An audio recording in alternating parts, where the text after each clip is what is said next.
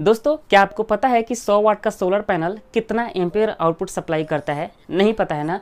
चलिए छोड़िए, क्या आपको पता है कि कितने वाट का सोलर पैनल कितने एम्पियर आउटपुट सप्लाई करता है? मतलब कि जो भी हम सोलर पैनल खरीदेंगे, वो कितना एम्पियर आउटपुट सप्लाई करेगा, कितने एम्पियर से हमारी बैटरी को चार्ज करेगा?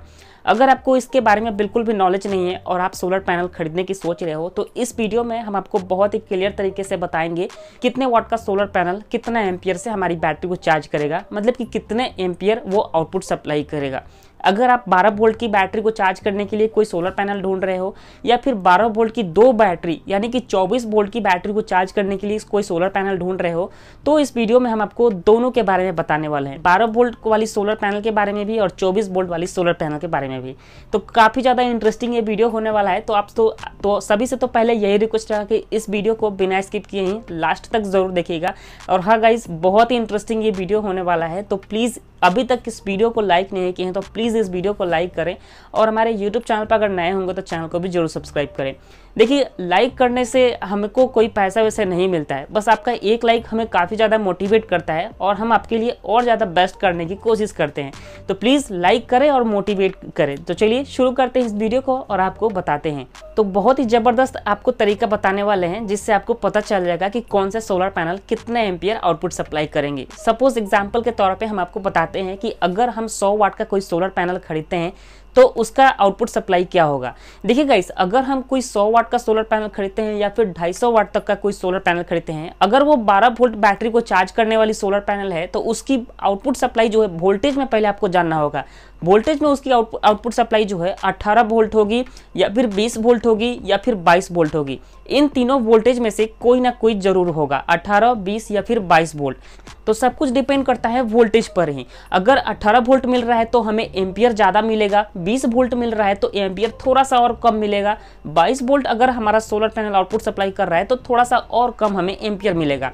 तो कैलकुलेशन कैसे समझना है कि हम आपको बताते हैं। सपोज़ अगर आप 100 वाट का कोई सोलर पैनल खरीदते हो, अगर उसकी आउटपुट सप्लाई 18 वोल्ट है तो आपको 5.55 एम्पियर आउटपुट सप्लाई मिलेगी। जी हाँ दोस्तों, ये मैं आपको थ्योरेटिकली कह रहा हूँ। अगर आपका सोलर पैनल पे 18 वोल्ट लिखा हुआ है कि उसकी सप्लाई 18 वोल्ट होगी तो उसकी एम्पियर जो है 5.55 एम्पियर आउटपुट सप्लाई होगी। लेकिन वही अगर आपका सोलर पैनल पे 20 वोल्ट आउटपुट सप्लाई लिखा हुआ है तो आपका सोलर पैनल मात्र पाँच एम्पियर ही आउटपुट सप्लाई करेगा। वही दोस्तों, आपका solar panel 22 volt output supply करेगा। 22 वोल्ट तो आपका सोलर पैनल का जो एम्पियर है, वो और कम हो जाएगी। लगभग साढ़े चार एम्पियर के आसपास में ही रह जाएगी। तो जो भी हम 12 वोल्ट के लिए सोलर पैनल खरीदते हैं, उसकी आउटपुट सप्लाई जो है, पहले वोल्टेज हमें देखनी होगी। या तो अठारह वोल्ट होगी, या फिर बाईस वोल्ट होगी, या फिर बीस वोल्ट होगी। इन तीनों में से कोई ना कोई एक ज़रूर होगा। सपोज़ अगर आप ढाई वाट का सोलर पैनल खरीदने की सोच रहे हो तो दो सौ पचास को पहले तो हमें अठारह से डिवाइड करके देखना है। तो अठारह से डिवाइड करने के बाद आंसर निकल के आता है थ्री 13.88 एम्पियर यानी कि मैक्सिमम ये 13.88 एम्पियर आउटपुट सप्लाई करेगा। मिडिल में अगर हम आते हैं तो हम 20 वोल्ट से डिवाइड करते हैं तो हमारा आंसर निकल के आता है सारा 12 एम्पियर मतलब कि सारा 12 एम्पियर भी हो सकता है। अगर हमारे solar panel 22 volt output supply कर रही है तो साढ़े ग्यारह एम्पियर के आसपास में ही हमें आउटपुट सप्लाई मिलता है। मतलब कि ये तीन जो हमने आपके सामने रखा इन तीनों में से कोई ना कोई एक ज़रूर मैच कर जाएगा अगर आप कोई भी सोलर पैनल ढाई वाट का खरीदते हो तो, तो देखिए अगर आपको लग रहा है कि हमें 12 वोल्ट की बैटरी को चार्ज करना है तो हमें तो हमारा सोलर पैनल 18 वोल्ट या फिर 20 वोल्ट या फिर 22 वोल्ट आउटपुट कैसे दे सकता है? जी हाँ दोस्तों तो सोलर पैनल जो होती है, अगर हम 12 वोल्ट वाली सोलर पैनल लेते हैं मतलब कि 12 वोल्ट बैटरी को चार्ज करने के लिए लेते हैं तो उसकी सप्लाई मिनिमम 18 वोल्ट से लेकर के मैक्सिमम 22 वोल्ट तक ही होगी। ठीक है दोस्तों, अब हम आपते हैं कि अगर हमें 24 वोल्ट का सोलर पैनल लेना है, जैसे कि हमें 24 वोल्ट बैटरी को चार्ज करने के लिए कोई सोलर पैनल लेना है तो उसको हम कैसे पता कर पाएँगे? तो देखिएगा उसके भी सेम तरीका है। जैसे अगर हम 12 वोल्ट बैटरी को चार्ज करने के लिए कोई सोलर पैनल लेते हैं तो उसकी आउटपुट सप्लाई कितनी थी? अठारह से बाईस वोल्ट। लेकिन यहाँ पर क्या होता है? चौबीस वोल्ट बैटरी को चार्ज करने के लिए अगर हम कोई सोलर पैनल लेते हैं तो यहाँ पर उसकी सप्लाई अड़तीस वोल्ट से लेकर के यहाँ पर पैंतालीस वोल्ट तक मिल जाता है।